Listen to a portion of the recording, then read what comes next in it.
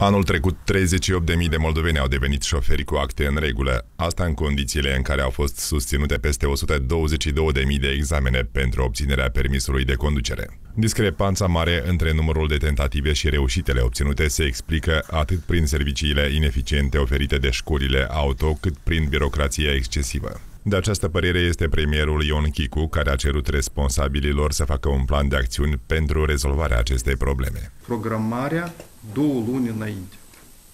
Care e cauza? Cu, pentru că asta e motiv, iarăși, de corupție. Pentru că omul știe că nu, dacă nu susține, el mai degrabă de 1500 de euro, pentru că două luni trebuie să ducă în Italia sau în altă parte, nu poate să aștepte. E vorba și de șoferii cu camioane, da?